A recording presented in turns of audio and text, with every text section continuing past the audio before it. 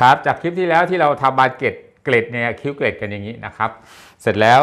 ผมก็มีการเข้า frame เข้าเดือยในตัว คือทำเป็นเป็น step ให้ท่านเข้าใจวันนี้นี่ครับมาแล้วนะครับ เสร็จแล้วก็คือทำเกล็ดเข้าไป แต่วันนี้เป็นเกล็ดพิเศษก็คือ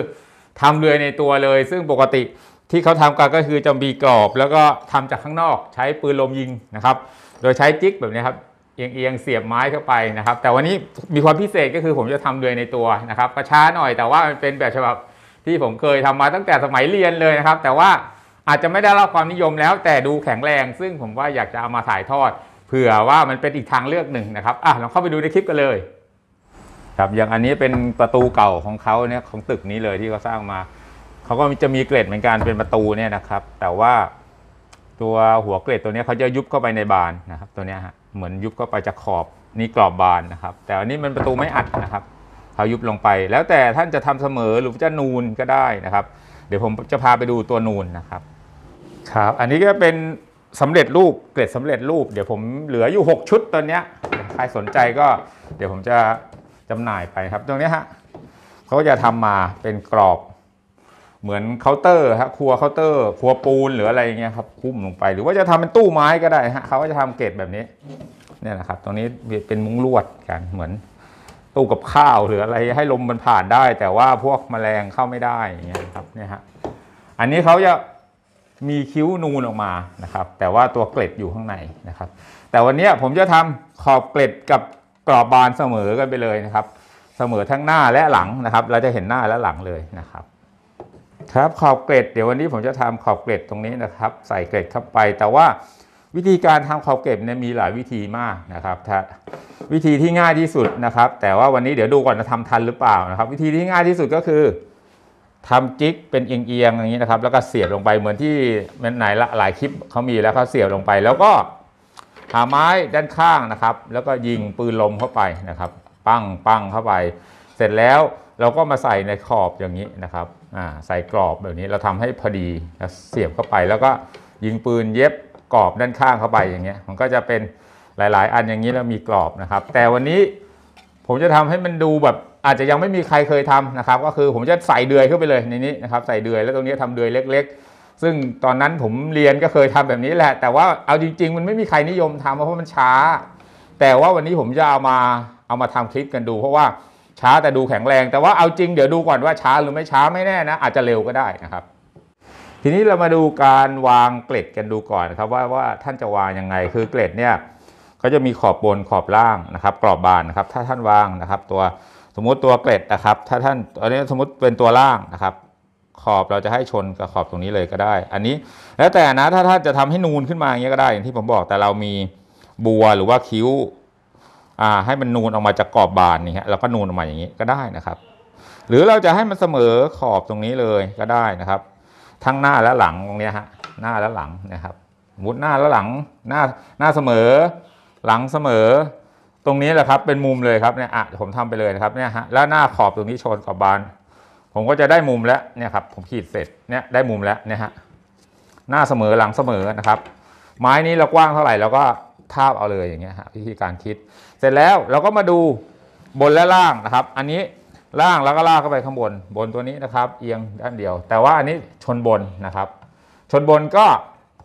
สนิทสนิทตัวตัวในนะครับ ถ้ากล้องมาดูข้างในก็จะเห็นตัวนี้สนิทอ่าตรงนี้ชนกับกรอบไปอย่างนี้นะครับ แล้วก็ขอบตัวนี้เสมอนะครับ อย่างที่ผมบอกถ้าอยากจะให้นูนออกมาก็ได้อย่างเงี้ยครับ แต่เราต้องมีคิ้วเขาเรียกคิ้วไส้ไก่ครับ นูน เข้าออกไปนะฮะหรือว่าเราจะทำกรอบในแล้วนูนออกมาได้หมดนะครับ แล้วแต่ท่านเลยตอนทำนะฮะท่านเลือกเอาเลย แต่วันนี้ผมเลือกเสมอนอกเสมอในนะครับครับเมื่อกี้ผมทำองศาได้แล้วใช่ไหมครับผมก็เอาแล้วครับตอนนี้ฉากเป็นจะมีมามามามีบทบาทตรงนี้แล้วครับ ฉากเป็นก็คือมันสามารถปรับองศาได้เราตามเราต้องการ แล้วก็จับมาที่ตัวนี้เลยครับเนี่ยฮะจับองศามาที่องศาที่เราได้เมื่อกี้นี้นะครับอะฝั่งนี้ดีกว่าครับมันมีตัวล็อกให้ด้วยนะครับอะ อย่างนี้นะครับ ได้องศาเท่าไหร่ล็อกเลยนะครับอะได้ความว่าองศาเอียงเท่านี้ เสร็จแล้วองศาตัวนี้นะครับ เราก็ลากขึ้นไปข้างบนนะครับ แล้วเราก็เอาตัวเมื่อกี้นี่แหละครับ ที่เราวางนะครับอ่าให้เสมอนะครับอ่าแล้วเราก็เอาไม้วางอย่างนี้นะครับ ขีดเส้นชนนอกนะครับอ่าตัวนี้ก็เป็นความหนาของเกล็ดเรานะครับ อันนี้ก็เหมือนกันนะครับ เราก็จะได้ความหนาของเกล็ดเราเช่นกันนะครับ นะครับ อันนี้คือเกล็ดบนเกล็ดล่างครับ ตัวนี้เราได้ตัวเกล็ดแรกแล้วใช่ไหมครับ ทีนี้เราก็ลองมาดูว่า เอ๊ะ เราจะวางเกล็ดยังไง เพราะเกล็ดซ้อนกันเนี่ย คือมองเข้าไปแล้วเนี่ยจะต้องมองไม่ทะลุ ถ้าเกิดห่างไปมันจะทะลุเห็นช่องข้างในนะครับ ใกล้ไปมันก็อาจจะดูแลช่องลมรอดยากนะครับ หรือว่ามันก็จะเปลืองเกล็ดเรานะครับ เราก็ห่างให้ดูสวยงามทีนี้ วิธีการคือเดี๋ยวผมกำหนด วิธีการคร่าวๆก่อนนะครับ ก็คือถ้าเป็นช่วงตรงนะครับ มองตรงไปครับเกล็ดขอบตรงนี้เกล็ดล่าง มองตรงไปอย่าให้ต่ำกว่าตรงนี้แน่ๆเพราะมองเข้าไปก็จะเห็นนะครับ ถ้าเรา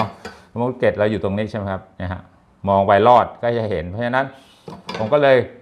ครึ่งหนึ่งแล้วกันครับ ตรงนี้กับตรงนี้ครึ่งหนึ่งนะครับ ครึ่งหนึ่งช่องว่างระหว่างตั้งฉากกับตัวขอบเกล็ดครึ่งหนึ่งก็คือตรงนี้นะครับ เพราะฉะนั้นเดี๋ยวผมจะ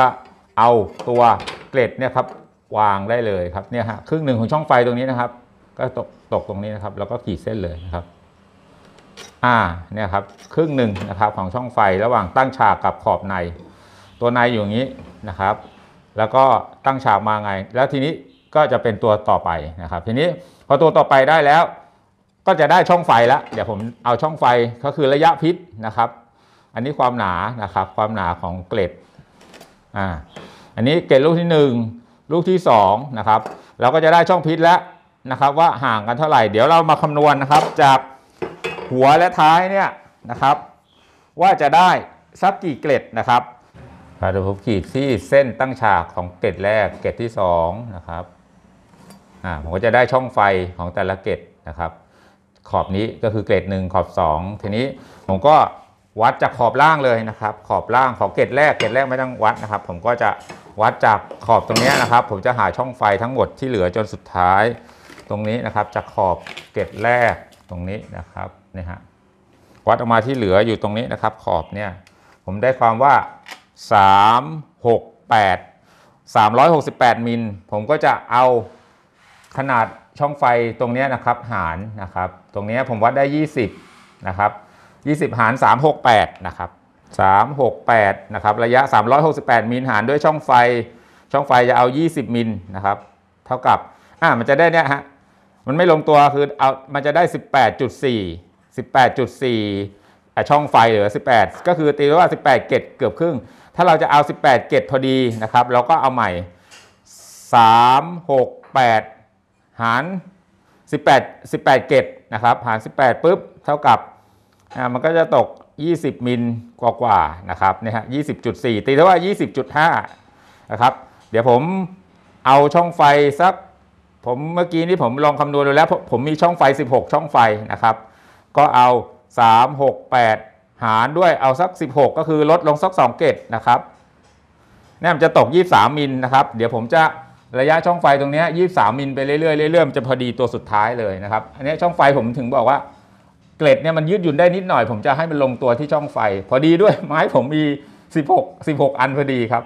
ครับเดี๋ยวผมจะทำจิกผมาหาเศษไม้มานะครับ ผมก็ทำจิกระยะหัว อันแรกเฉพาะอันแรกนะครับ อันเดียวนะครับ วัดได้เท่าไหร่นะครับ อันนี้ผมวัดได้ 28 เฉพาะอันแรกนะครับก็ลงมานะครับ เสร็จแล้วทุกอันเราก็จะไปตามที่เราคำนวณเมื่อกี้นี้เราเอา 23 มิลนะครับ เราก็ดูนะครับ เดี๋ยวเรากดตัวเลขไว้ก็ได้นะครับ 23 อันแรกนะครับเนี่ยฮะ ถ้าเราทำไปทีขีดไปทีละเส้นเส้นเดี๋ยวมันถ่ายระยะเพี้ยนไปทีละครึ่งมั่งอะไรมั่งมันไม่ได้นะครับ เราใช้23อ่ามอันแรกนะครับ23บวก23ไปเรื่อยๆเลย46อ่า4มันช้าตอนทำจิกนะครับ แล้วก็บวก23 69อ่านะครับเนี่ยฮะบวก ยี่สามไปเรื่อยๆนะครับเก้าสิบสองเนี่ยฮะเนี่ยฮะถ้าไปวัดทีละอันทีละอันเดี๋ยวเพี้ยนนะครับ เอาตรงเนี้ยนะฮะเก้าสิบสองเนี่ยแหละครับบวกไปเรื่อยๆยี่สามยี่สามไปเรื่อยๆ จนให้ถึงอันสุดท้ายมันจะพอดีนะครับ อันนี้เกรดแรกเดี๋ยวผมขีดเส้นก่อนนะครับให้ท่านเห็น คือผมพยายามอธิบายจะได้ไม่งงนะครับอ่าอันนี้เกรดที่หนึ่งนะครับ ทีนี้เราก็มาดูเกตที่2อ่านะครับตามเส้นที่เราขีดเส้นไว้เกตที่2นะครับเกตที่3นี้อันนี้คือขอบขอบบนนะครับขีดเส้นไปนะครับ อันนี้มุมที่เราวางจากตีตอนตอนแรกเลยนะครับ มุมแรก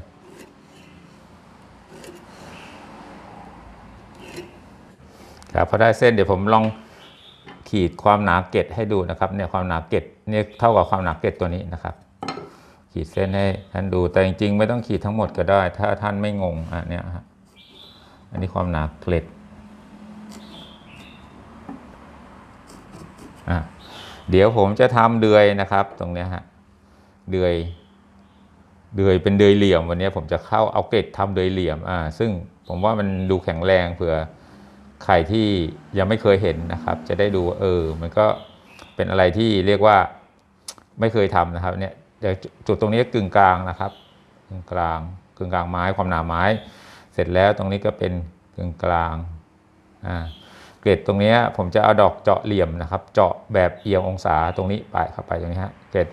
เกล็ดหนึ่งเจาะนี่เกล็ดสองนะครับ เกล็ดสามอย่างเงี้ยนะครับครับตรงนี้เราใช้ถาดตัดถาดตัดที่ผมทำก็จะมีองศาอย่างเงี้ยฮะ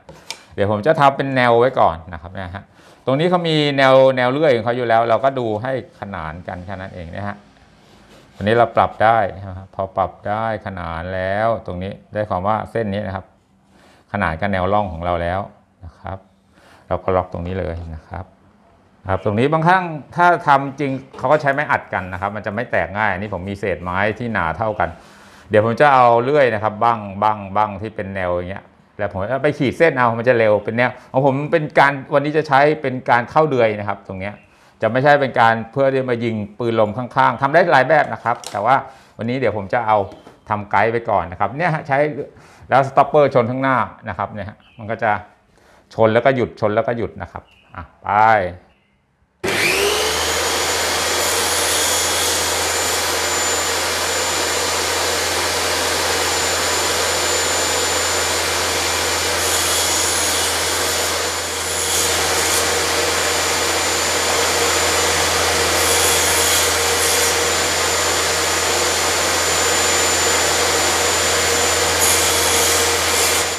ครับวิธีการเดี๋ยวเราก็เอาตรงนี้แหละครับ มาทำเป็นจิ๊กขีดเส้น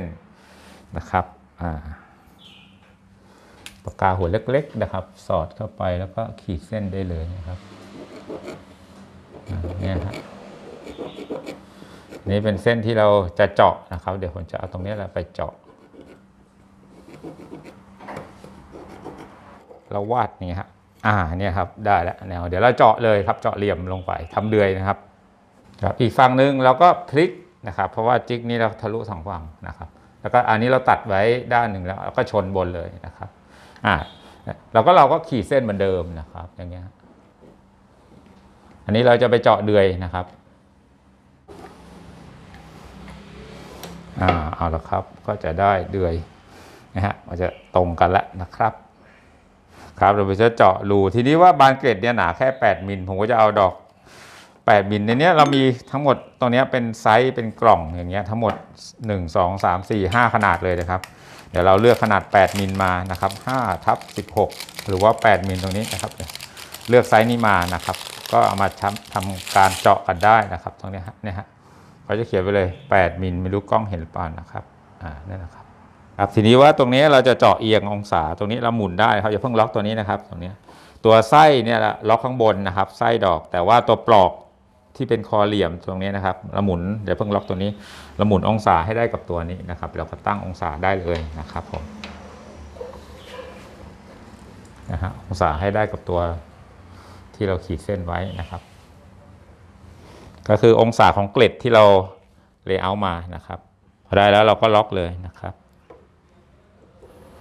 ค่ะอันนี้ผมก็ตั้งให้กึ่งกลางไม้นะครับ ตั้งไว้แล้วนะครับ ก็เจาะเลยตั้งความลึกได้ เพราะตรงนี้มี stopper ให้นะครับ stopper ความลึกอะเดี๋ยวเราเริ่มเจาะทยอยไปเรื่อยๆนะครับ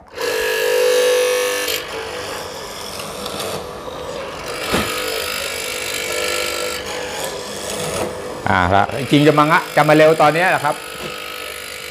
มันช้าตอนทำ jig ครับอ่าคราวนี้เร็วแล้วเร็วแล้วแข็งแรงนะครับตรงนี้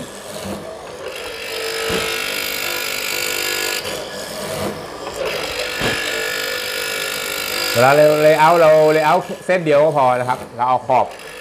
เอาขอบเดียวด้านใดด้านหนึ่งนะครับ ดั้งเดิมสมัยเรียนเลย วิธีนี้นะครับ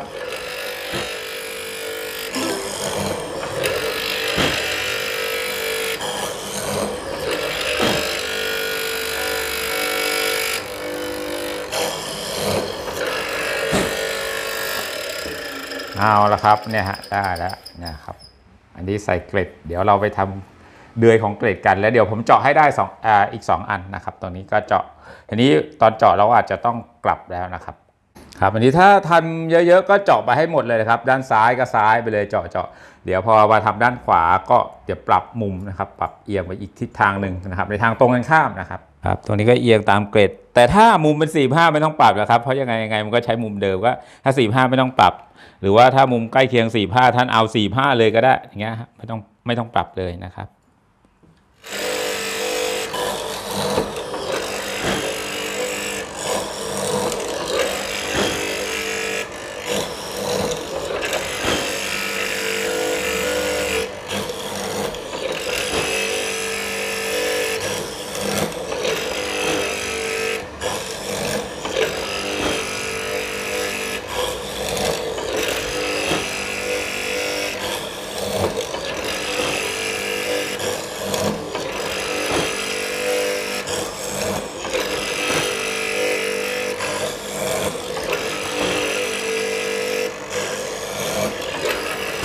เอาละครับได้แล้วนะครับอ่าอันนี้ก็ได้ทั้งสองอันแล้วนะครับอืมนะครับแบบนี้อืมเดี๋ยวเราก็ทำเดือยที่เกล็ดกันแล้วก็ใส่แค่นั้นเองนะครับ อันนี้จะแข็งแรงแน่นอนนะครับแบบนี้ครับ เดี๋ยวเรามาทำตัวเกล็ดกันแล้วก็ทำเดือยที่ตัวเกล็ดด้วยนะครับ แต่ว่าระยะความบ่าเนี่ยก็ให้เท่ากับตัวของเดือยอตัวกรอบบนนะครับบ่านะครับ และเดี๋ยวเดือยก็ให้เราเข้าไปผมเข้าไปข้างละเซนนะครับ เดือยก็ตัดเผื่อจากขนาดของอกรอบบนบวกไปข้างละเซนนะครับ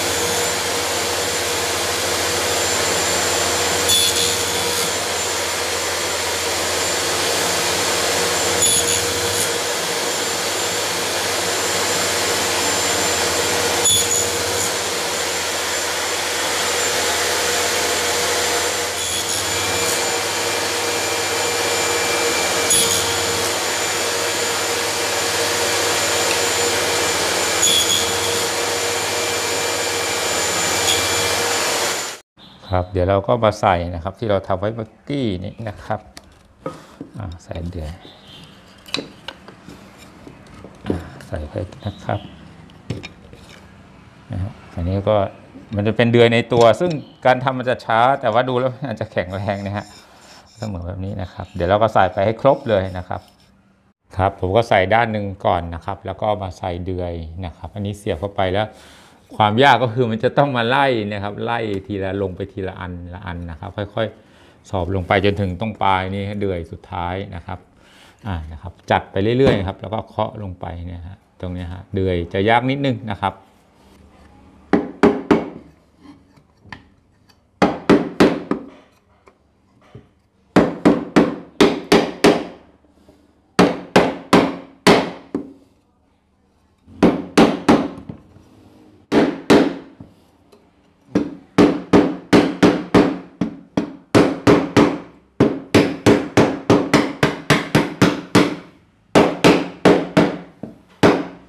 อ่าเอาละครับเข้าหมดละครับก็จะเสร็จแบบนี้นะครับ ตัวนี้จะช้าเพราะว่าเราทำเรือในตัวอย่างเงี้ยเข้าเรือจะช้าเราทำยากนะครับ ก็จะเป็นนี้ฮะเพ่ลงมาอย่าเงี้ยนะครับ หน้าหลังครับแต่ว่าถ้าทำเร็วก็คือทำกรอบนะครับ แล้วก็บล็อกเข้าไปข้างในเนี่ยฮะใช้จิกแบบเนี้ยที่เขาทำกันนะครับก็คือทำร่องแล้วก็เสียบแล้วก็ยิงปืนลงไปปั้งปั้งปั้งจากด้านข้างนะครับ หมายถึงทำเฟรมนะฮะอย่างเงี้ยฮะ เฟรมสองฝั่ง แล้วก็สวมเข้าไปในกรอบมันก็จะง่ายและเร็วนะครับ แต่ว่ามันจะเป็นการยิงตะปูมากกว่านะครับ